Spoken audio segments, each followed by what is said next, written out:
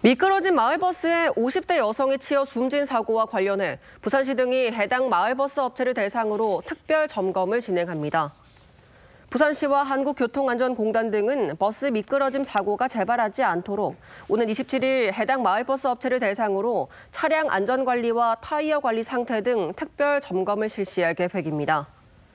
지난 12일 해운대구 청사포에서 마을버스 운전기사가 자리를 비운 사이 버스가 100m가량 미끄러져 내려가 50대 여성이 부딪혔고 이 여성은 병원으로 옮겨졌지만 숨졌습니다.